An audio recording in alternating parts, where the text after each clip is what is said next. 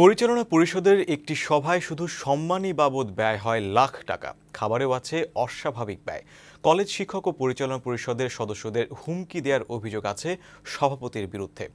একক স্বেচ্ছাচারিতায় কলেজে ভীতিকর পরিস্থিতির পরিবেশ সৃষ্টি হয়েছে দাবি কলেজ শিক্ষকদের। বোরহানুদ্দিন কলেজের বর্তমান অস্থিরতা পরিচালনা পরিষদের অন্যায় অনিয়ম নিয়ে শামসুল হুদার ক্যামেরায় তোলা ছবিতে কাজী ফরিদের চার পর্বের ধারাবাহিক প্রতিবেদনের আজ দেখুন চতুর্থ ও শেষ পর্ব। যে অ্যাক্টিভিটিস এটা আপনাদের নলেজে নাই। সত্যিকার অর্থে জানতেন, ফুলের মালা তো স্বর্ণের মালা নিয়ে আসতেন। কোটি টাকা সম্মানে তুলে পোষাবে না। চ্যালেঞ্জ করে বলতে পারি, কোটি টাকা সম্মানে দিয়ে ওরা পোষাইতে পারবে না। নিজের সুবিধা বাড়ানোর ব্যাপারে সংকোচহীন শেখ বোরহানুদ্দিন কলেজের গভর্নিং বডির সভাপতি অধ্যাপক হারুনুর রশিদ খান। অন্যদিকে এই কলেজের মার্কেটিং বিভাগের বত্রিশ বছরের শিক্ষক ও বিগত কয়েক বছর ধরে অধ্যক্ষ অধ্যাপক আব্দুর রহমানের কিছু পুরনো ভাতা তিনি কমিয়ে দিয়েছেন নিজের ইচ্ছায়। পাশাবার আগে জানিয়েতেন তার কিছু কমাই দিচ্ছি উনি মাসে মাসে তিরিশ হাজার টাকা তেল নেয়। আমি বলছি এটা ঠিক না। এমন নানা ঘটনা কলেজের সভাপতি ও অধ্যক্ষকে মুখোমুখি দাঁড় করিয়েছে।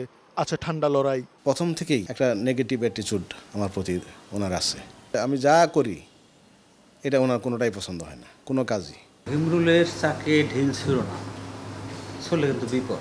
যে দুষ্টামি করছে তার আজকে থেকে ঘুম হারাম হবে মনে হয় প্রতিনিয়তই যদি সভাপতি এসে প্রিন্সিপালকে হুমকি দামকি করে ধমক দেয় টিচারদের সামনে টিচার দিয়ে তদন্ত কমিটি করে তাহলে আমরা আর কোন জায়গায় থাকব? এই লড়াই সভাপতি ও অধ্যক্ষে সীমাবদ্ধ নেই। বাহির থেকে আসা গভর্নিং বডির সভাপতি নিজের অনুসারী তৈরি করেছেন কলেজের ভেতর। তাদের দিয়েছেন নানা সুযোগ সুবিধা আর প্রতিপক্ষ করেছেন অধ্যক্ষ ও অন্য শিক্ষকদের যারা সভাপতির কাজে অসন্তুষ্ট।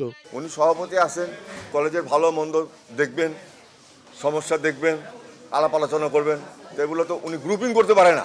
প্রতিনিয়ত এই একটা হুমকির মুখে আছি এবং ভয়ে আছি কার নামে কখন তদন্ত কমিটি হবে কার কখন আহ, চাকরি চলে যাবে? মানুষ মৃত্যুর পরে আসলে এগুলি দেখে। আমি মৃত্যুর পূর্বে দেখলাম।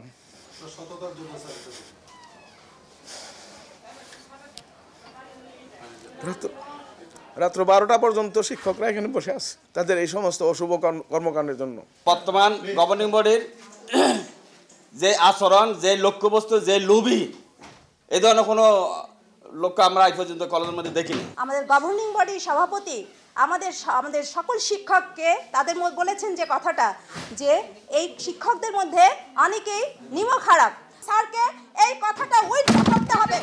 গভর্নিং বডির বৈঠকেও সভাপতি হারুন তার অমতে যাওয়া শিক্ষকদের সাথে বাজে ব্যবহার করেন বলে শুধু অভিযোগ নয় একজনের ধারণ করা একটি রেকর্ডও প্রমাণ দিচ্ছে। আপনাদেরকে আমি বাধ্য না।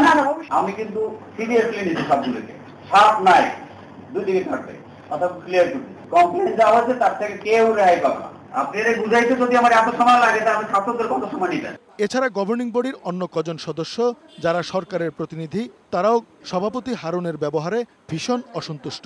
আমাদের সভাপতি মহোদয় তখন বলেছিলেন যে আপনাদের মেয়াদ শেষ হবে কিন্তু আমার মেয়াদ চার বছর। হতে পারে ওনার মেয়াদ হয়তো চার বছর কিন্তু আমাদের গভর্নিং বডির টাইম শেষ হয়েছে আমরা বলেছি যে আর কত- যে কয়দিন আছে আমরা কোনো নিয়মের বাইরে আগেও যাই নাই এখনও যাব না।